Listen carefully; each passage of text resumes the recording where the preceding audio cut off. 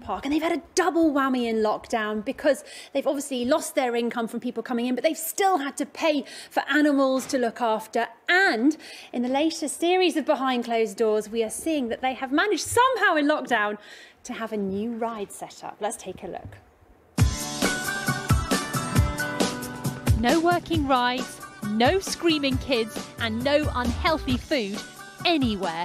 But this unwanted gift of time has not been wasted. They've been working with their old rides, their new rides, and their beautiful animals. In here, the world's largest rodent. They'd give a rat a run for its money, wouldn't they? And today they've been having a little lockdown dental work. They've also been getting a little extra TLC with the visitors away.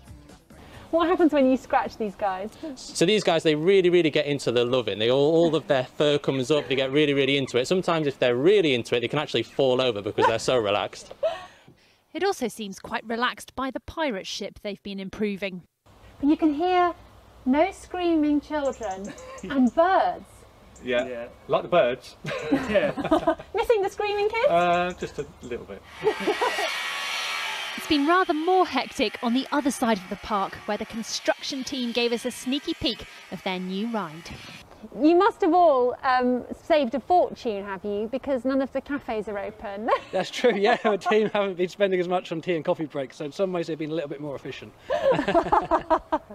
a small mercy given how tricky it's been.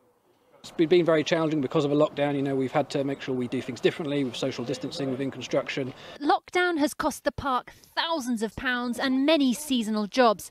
Then there's the hotels to keep ticking over. This is a redecorated Gruffalo room. A mouse took a stroll through the deep, dark wood. what an entrance! And they have to keep the water free of bacteria.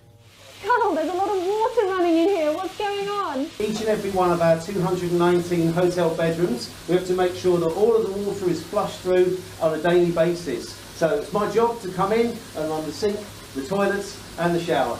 Wow, who knew? Lucky me.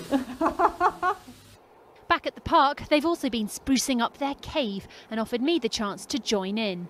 I've got UV paint on here. Here we go, one take. Please okay, please okay, please okay. Oh. Oh, Sally.